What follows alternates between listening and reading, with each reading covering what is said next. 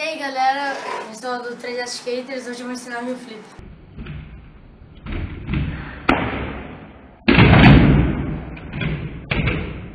Começando a posição dos pés, primeiro você bota o pé aqui atrás, como normalmente eu gosto, porque tem gente que pode botar o pé mais cheio, mas eu gosto de botar ele mais ou menos na metade aqui do tail, pra poder bater e ele não ir mais pra trás.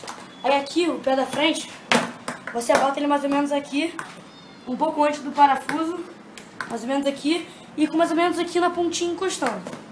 Pra tipo, tem gente que gosta de botar o pé aqui, mas eu acho que gira mais difícil pra chutar assim. Mas eu acho que assim não pega tanta força, porque aqui você pode chutar com mais força, porque sai o pé inteiro.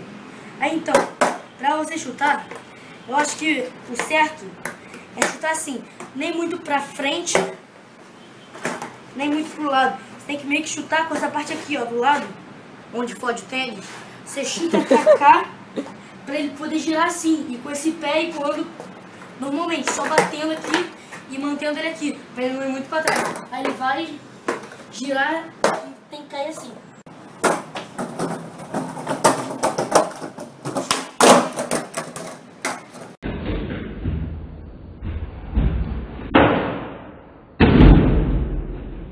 Um dos erros comuns do flip é você cair muito pra cá.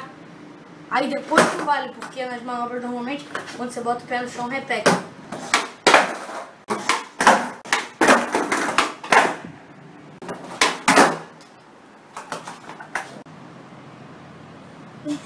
Não, não, agora não mais, é, Outro erro comum é quando você cai muito aqui pra frente.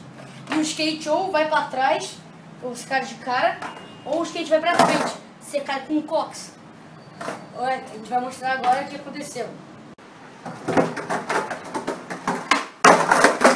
Caralho, que susto! Eu tava olhando aqui no celular, do nada meu. Vum!